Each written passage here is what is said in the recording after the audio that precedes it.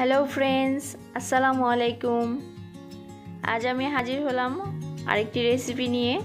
তো এই রেসিপিটি অনেক মজাদার একটি রেসিপি চলুন দেখে নিই কীভাবে রান্না করেছি, কি কি লেগেছে আমার রেসিপিটা রান্না করার জন্য।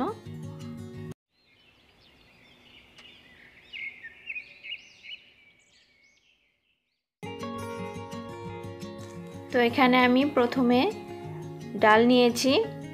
আমি এখানে দুই রকমের ডাল নিয়েছি, একটা ছোলার ডাল, একটা বুটের ডাল।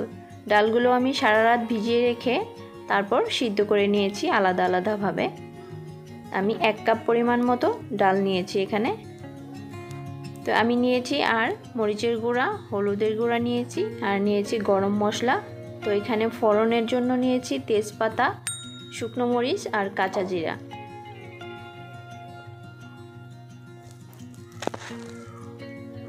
তো আমার আর লাগবে পেঁয়াজ কুচি। এখানে আমি দুইটা পেঁয়াজ কুচি নিয়েছি। আর এখানে আদা বেটে নিয়েছি আর পেঁয়াজ বাটা নিয়েছি আমি। তো এখানে আমি একটা ডিম ফেটিয়ে রেখেছি আর দুটো ডিম সিদ্ধ করে মাঝখান থেকে কেটে নিয়েছি।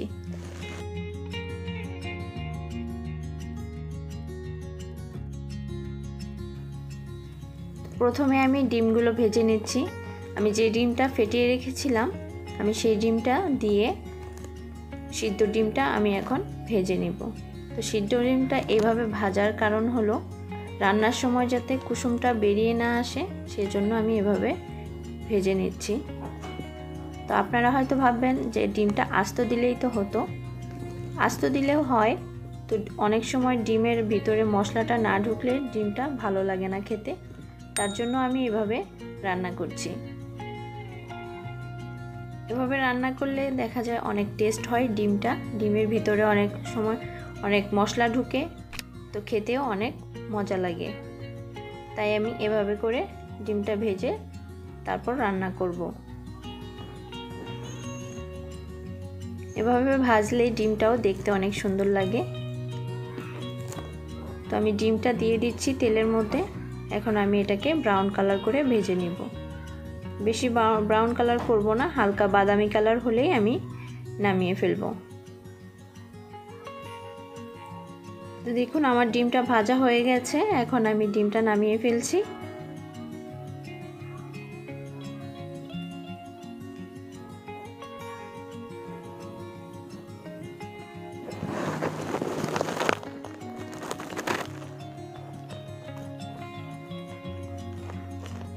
সবগুলো ডিম নামিয়ে ফেলেছি।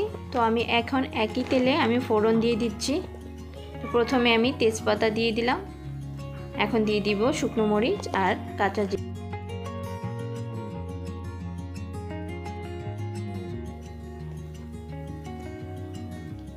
ওগুলোকে হালকা ভেজে নিচ্ছি। ভাজা হয়ে গেছে, এখন আমি পেঁয়াজ কুচিটা দিয়ে দিব।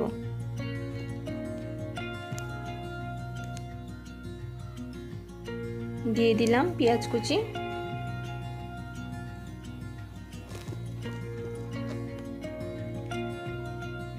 পেঁয়াজটা একটু নেড়ে চেড়ে ভেজে নিচ্ছি।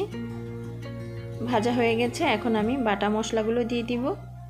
এখানে আমি এক চা চামচ পরিমাণ রসুন, আদা বাটা দিয়ে দিচ্ছি। আর দিয়ে দিব এক টেবিল চামচ পরিমাণ পেঁয়াজ বাটা।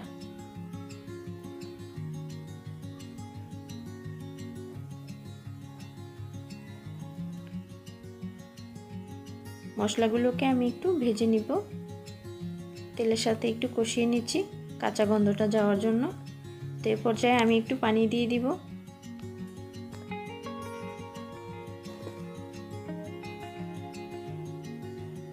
আদা আদা আর পেঁয়াজটা কষানো হয়ে গেছে। এখন আমি বাকি মশলাগুলো দিয়ে দিব। এখন দিয়ে দিচ্ছি পরিমাণ মতো লবণ। আর দিয়ে দিচ্ছি এক চা চামচ পরিমাণ হলুদের গুঁড়া। দিয়ে দিচ্ছি এক চা চামচ পরিমাণ লাল মরিচের গুঁড়া। এখন আমি মশলাটাকে ভালো করে কষিয়ে নিব।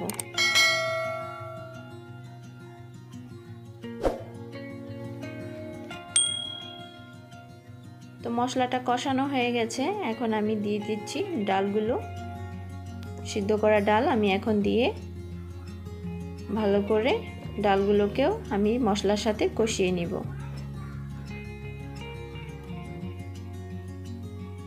সিদ্ধ করার সময় খেয়াল রাখতে হবে ডালগুলো যাতে বেশি গলে না যায়। হালকা মিডিয়াম করে সিদ্ধ করে নিতে হবে।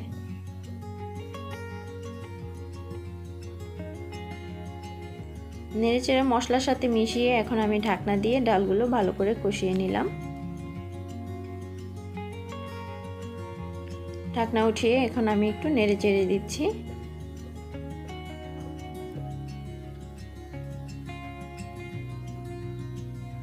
ডালগুলো দেখুন, মশলার সাথে খুব ভালো করে কষানো হয়ে গেছে।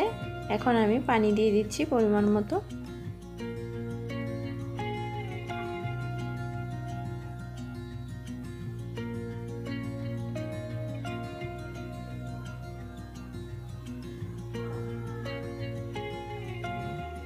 ডালগুলো আগে থেকে সিদ্ধ করা, তার জন্য আমি বেশি পানি দিব না, এখানে আমি অল্প পরিমাণেই পানি দিব। তো ঢাকনা দিয়ে দুই তিন মিনিট পরে এখন আমি ঢাকনা উঠিয়ে দেখছি ডালটা একটু ঘন ঘন হয়ে আসছে। তো এ পর্যায়ে আমি একটু নাড়াচাড়া করে আমি ডিমগুলো দিয়ে দিব।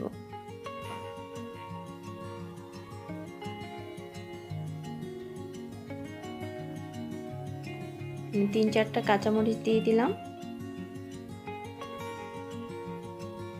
এখন আমি ডিমগুলো দিয়ে দিচ্ছি।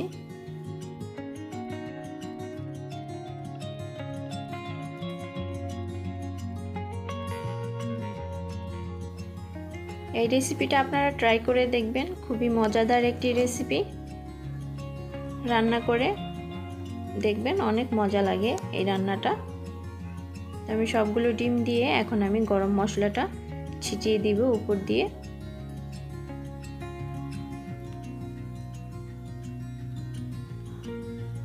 এই রান্নাটা সব কিছুর সাথেই খাওয়া যাবে। রুটি, পরোটা, ভাত সব কিছুর সাথেই যায় এই রেসিপিটা। খুবই মজাদার একটি রেসিপি।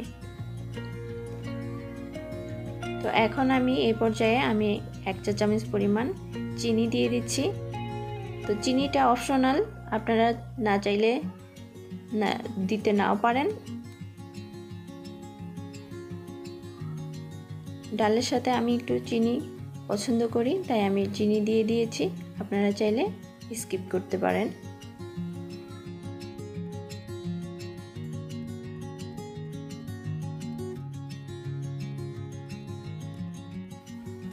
এখন আমি দুই মিনিট ঢাকনা দিয়ে রান্না করে নিব। ঢাকনা দিয়ে দুই মিনিট রান্না করে নিচ্ছি।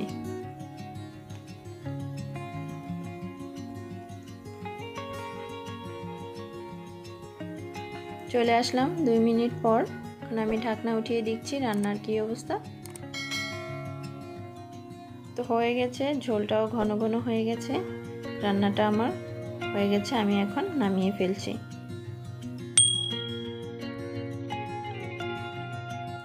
তো আমার ভিডিওটি যদি আপনাদের ভালো লেগে থাকে, তো অবশ্যই কমেন্ট করে জানাবেন লাইক করবেন, আমার চ্যানেলটিকে সাবস্ক্রাইব করবেন, পাশে থাকা বেল আইকনটিতে ক্লিক করবেন, যাতে নতুন নতুন ভিডিওগুলি আপনাদের সাথে তাড়াতাড়ি পৌঁছে যায়।